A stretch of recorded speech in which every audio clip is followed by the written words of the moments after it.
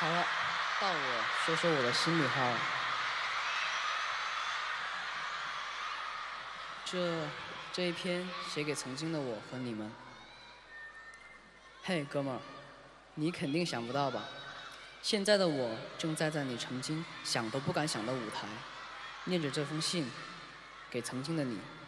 哦，对了，你更不会想到今天的你能唱一首想唱的歌给喜欢你的人听。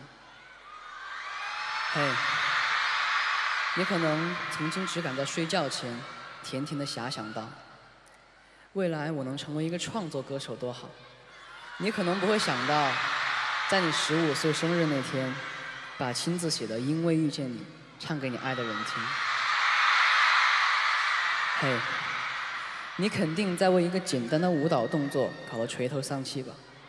那你更想不到现在的你，两天就能学会一支完整的舞。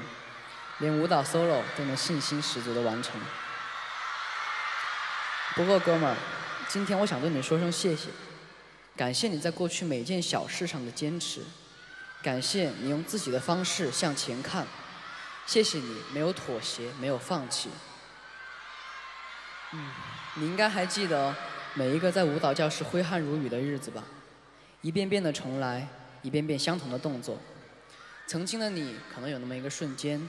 想要放弃，你不是学我的那块料，就别白费力气了。可是你知道吗？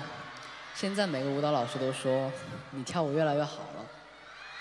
所以我想，当时的你肯定是每次失意赞叹后，站起来接着练吧。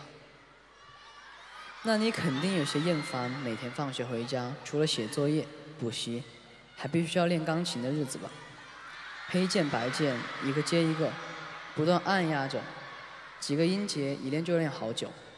不过尽管厌烦枯燥，还好你没有放弃。正因为如此，现在的我才能够把自己写的歌唱给别人听。真的谢谢你，还好没有放弃。前进的路上很孤独，有些事别人是没办法帮上你的。就像舞蹈，自己不练习，请再好老师都没用。唱歌不带入感情，怎样都唱不好。这种孤独感是不是让你觉得很惶恐无助呢？可是，哥们，别忘了，在那些惶恐无助的时刻，还有很多人在你不知道的地方陪着你。嗯，然后这篇信其实还有后面，但是我不想念了，我想说说我今天的心里话。